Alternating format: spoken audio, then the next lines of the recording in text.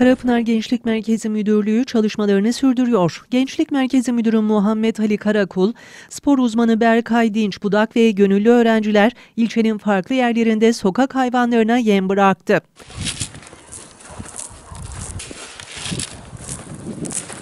Gençler ilçeyi de karış karış dolaşarak ihtiyaç sahiplerine yardım ulaştırdı.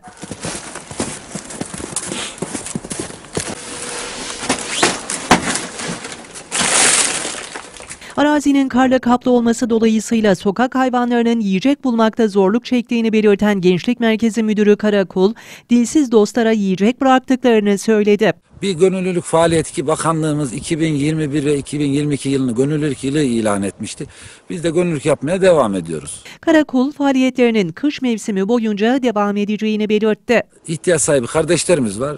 Hayırsever kardeşlerimizin hazırlatmış olduğu paketleri biz bir aracı olarak ihtiyaç sahiplerine tespit ettiğimiz ihtiyaç sahiplerine hiç kimseyi teşhir etmeden dağıtmaya özen gösteriyoruz. Bu şekilde faaliyetlerimize devam ediyoruz. Gönüllü öğrenciler de iyilik hareketine katılmaktan mutlu. Gönüllü olarak e, hayvanlara bu soğuk kış şartlarında onlara yem bırakıyoruz, yemek bırakıyoruz, e, köpek maması falan bırakıyoruz. E, bu durumdan oldukça memnunuz. E, hayvanları böyle mutlu etmek, onların e, yardımlarını gidermek bizim için çok iyi oluyor.